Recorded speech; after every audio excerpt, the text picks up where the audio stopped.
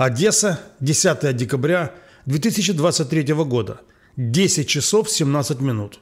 В Одессе раздается сигнал воздушной тревоги. Внимание! С аэродрома Саваслейка Российской Федерации зафиксирован старт четырех самолетов МиГ-31К, которые являются носителями гиперзвуковых ракет «Кинжал». Также фиксируются старты двух самолетов-танкеров-заправщиков Ил-78. Немного позже поступает пояснительная информация. Самолеты МиГ-31К держат курс в сторону акватории Черного моря. Высокая вероятность затяжной тревоги.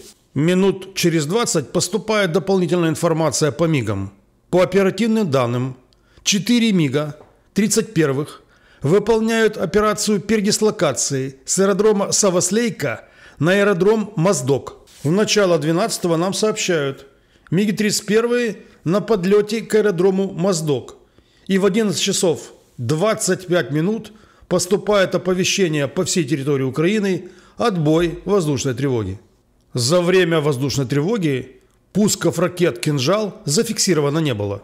Моим дорогим соотечественникам и землякам мирного неба, всего самого наилучшего.